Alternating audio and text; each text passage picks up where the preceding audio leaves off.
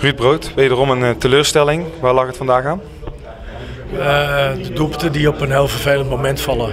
En ook niet het geluk aan je zijde, denk ik. Dat zag je in de laatste seconde ook wel. Kan ik daaruit concluderen dat je over het algemeen wel tevreden was over het spel van jouw ploeg? Nou, we hebben hard moeten gaan, hard moeten werken tegen een hele goede tegenstander. Maar ik denk wel dat uh, op een gegeven moment de wedstrijd wel redelijk in balans was. Uh, zij kregen wat meer mogelijkheden door de fouten die wij maakten. Maar ja, dat is ook wel logisch. Uh, ze dwingen je tot fouten. Maar ik vond het voetbal, zeker bij Vlagen, dat we toch wel ook de mogelijkheid hadden om, om er meer uit te halen. Met welk strijdplan stuurde jij je ploeg het veld in? Er waren nodige verrassingen in de opstelling. Wat was de verrassing dan? Dat Van Aanholt niet speelde. Ja, dat heb je net kunnen zien. Ik, van wij wilden aanvallend voetbal spelen met Otman op middenveld. Uh, van Aanholt speelde niet. Dat is een andere type, die is verdedigend. Die druk op de bal moet houden. Nou, als je de tweede goal, de tegengoal ziet, denk ik uh, dat het ook niet goed gebeurt.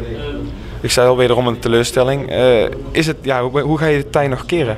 Nou, dat kan je ook wel keren. Je speelt een heel goed team. En ik vond dat we bij Vlagen best wel behoorlijk voetbal speelden.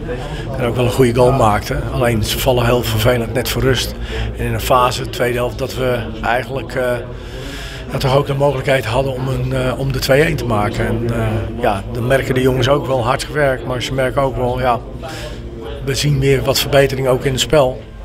Alleen tegen tegenstander, tegen tegenstander moet, je, moet je veel attenter en veel uh, scherper zijn, want dan straffen ze het af. Dat is inderdaad tegen deze tegenstander, maar ik bedoelde er eigenlijk op van, uh, van hoe ga je tijd in de toekomst keren, zeg maar. Want je, ik zeg, we staan een redelijk aantal punten achter, er zijn een aantal wedstrijden al uh, verkeerde kant op gevallen. moeten er niet dingen gaan veranderen? Nou, dat hebben, nee, nee, nee. Je moet geen dingen gaan veranderen. Ik denk dat je vastigheid, zoals we nu hebben gespeeld, je kan tevreden zijn over het middenveld met Otman en met Ivan.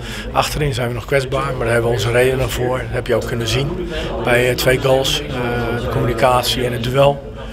Ja, voorin hebben we keuzes uh, die we kunnen maken. En dan is het individueel, hoe, brengt de speler dat? En als het dan wat minder is, ja, dan ga je wisselen. Maar ja, je hoeft niet alles om te gooien. Want ja, met, met uh, deze jongens die echt wel willen, ja, zal het toch ook wel uh, keren.